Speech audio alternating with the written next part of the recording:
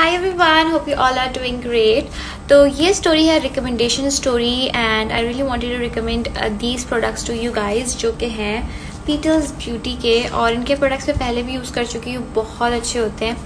So this is their tea tree toner आपको पता है tea tree is really good अगर आपकी एक्नी प्रोन स्किन है एक्नी स्कार्स हैं, क्योंकि उसको ट्रीट करता है। एंड टोनर है सो इट्स वेरी माइल्ड ये आपके जो स्किन का पीएच बैलेंस है इसको भी मेंटेन करता है। आपकी इम्प्योरिटीज़ हैं उनको भी uh, मतलब रिड्यूस uh, करता है ख़त्म करता है। So it's really good this tea she toner और मैं इसको काफ़ी यूज़ भी कर चुकी हूँ।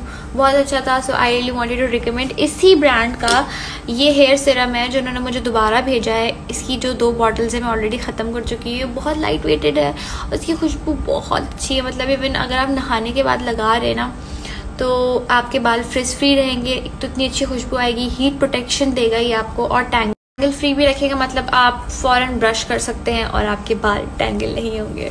सो so, या इसकी खुशबू बहुत अच्छी है मुझे बहुत पसंद है। एंड आई एम थैंकफुल कि इन्होंने दोबारा मुझे भेज दिया। थोड़ा सा लेके आपने बस अपने बालों को इस तरह से लगाना है। लिटरली आपके बाल इतने स्मूथ रहेंगे और आराम से ब्रश भी हो जाएँगे। फिर जी इनका ये है बहुत ही क्यूट प्रोडक्ट है ये। This is blush and glow dough और ये है पिक डिज़ायर शेड इस तरह से क्यूट सी पैकेजिंग है आराम से ओपन हो जाता है। एंड यहाँ पे ब्लश है यहाँ पे हाइलाइटर है। मैं इसके स्वॉचेस यहाँ लगा देती हूँ। ये भी बहुत क्यूट है। सो so, या yeah. है ना?